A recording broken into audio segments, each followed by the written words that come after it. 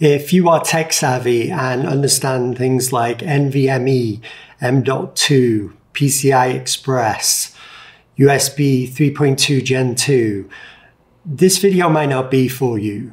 If what I just said sounds like a foreign language, then maybe stick around. I could potentially save you a few hundred dollars and point you in the right direction when it comes to buying a new Apple Mac computer in 2024.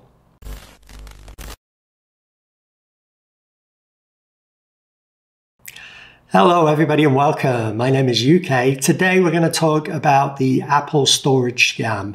And the Apple storage scam goes hand in hand with the Apple memory scam. This is very well known and uh, basically the Apple tax for purchasing Apple products. Don't get me wrong, I love Apple. I have a lot of Apple devices. The hardware they build is, is truly phenomenal. However, uh, there's a tax to the, these products. Uh, that tax comes in the form of hardwired and soldered components directly to the motherboard, which leads to no upgradability in the future. What you buy now in 2024 with most Apple Macs is what you're going to have for the rest of that piece of hardware's life. So with that said, let's talk really quick about memory because I don't want to go down this rabbit hole too far and I don't want this to get complicated.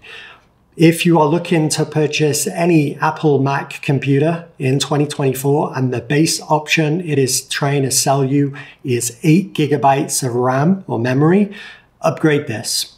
Bite the bullet is an expensive upgrade, just upgrade this in this day and age, software developers aren't developing applications and software to run with only a few gigabytes of available memory. If you have a computer in 2024 that only has eight gigabytes of memory and you have, let's say, a Chrome tab open with several tabs, you have your mail client, uh, maybe, you know, one or two other applications running simultaneously, you'll just run into memory problems. And with Apple Mac computers, this isn't something you can just upgrade along the way. You are stuck with what you buy. So bite the bullet, buy a minimum of 16 gig. 16 gig is enough for just about everybody in an everyday use scenario.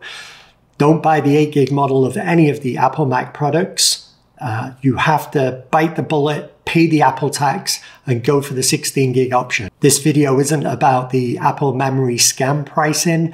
This is about the Apple storage price gouging and what you can do to save a few hundred dollars, get more storage, and um, there are a couple of other benefits as well. So let, us talk about what they are. This is uh, an NVMe SSD. What does that mean? It's basically the PC equivalent of what's soldered directly onto your motherboard with any Mac computer in 2024 for storage.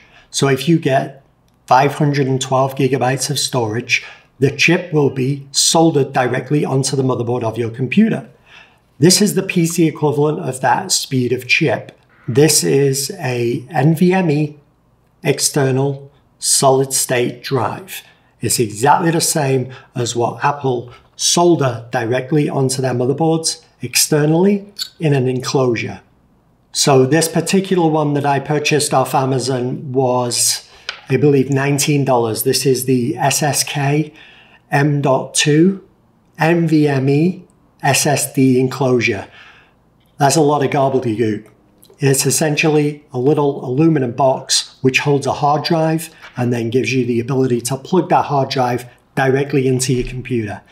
The beauty and the reason of why I suggest going down this route is the speed these drives are about four times as fast as what you would get with a traditional plug and play USB hard drive, a USB, they call them backup drives.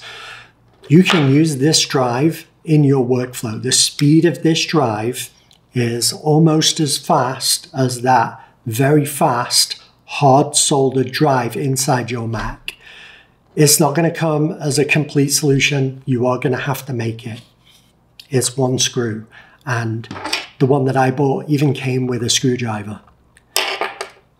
Two components. You've got the enclosure, and then inside the enclosure, you've got the hard drive itself. This is the hard drive. It has a little heat pad over it to help dissipate the heat through the enclosure, just to keep it a little bit cooler because these things can get pretty hot. They get pretty hot because they're pretty fast. I strongly advise whichever Apple Mac computer you decide to go with, after upgrading the memory to 16 gigabytes, you go with the base level of storage. If that's 256 gigabytes or 512 gigabytes, depending on which model you're looking at, I would always recommend going with the base level of storage and then purchasing one of these aftermarket storage expansions. This is without a doubt the most economical way, but also the most convenient. Think about this. If you have a power surge, the com- electrical components on your iMac or Mac Studio are damaged. That hard drive will likely be damaged too. It is soldered to the motherboard. Having your data backed up also provides a bunch of other advantages, and to do so cheaply and efficiently is definitely what I would recommend. Use the storage that comes, that base level storage that comes with the Mac as your day to day workflow, applications you use, stuff like that, and then everything else, stick on one of these. Super fast. This thing will give you 5,000 megabytes a second. And in layman's terms, that's fast. That's blazing fast. Copying files to and from this using this as a workflow device, I edit directly off these. They're that fast. So that would be my recommendation in 2024. If you're thinking about purchasing a Mac, stay away from the storage upgrades, purchase a NVMe drive, and you will be good to go. I've left links to all of the products I've mentioned in this video. They are affiliate links down in the description. If you ever buy anything from those, I do get a little kickback, uh, but that helps the channel and helps me keep making more videos like this. I hope this was helpful. I hope I can save you some money or at least point you in the right direction of what configuration of a Mac you should probably be buying in 2024. Well, that'll do it for this video. Uh, I hope I was able to add some value to you today. Uh, if you enjoy this type of content, why not consider subscribing? Maybe even click that like button down below. It would mean a lot to me. Thank you so much for watching. I've been Youkay. You've been fantastic. I will see you in the next one.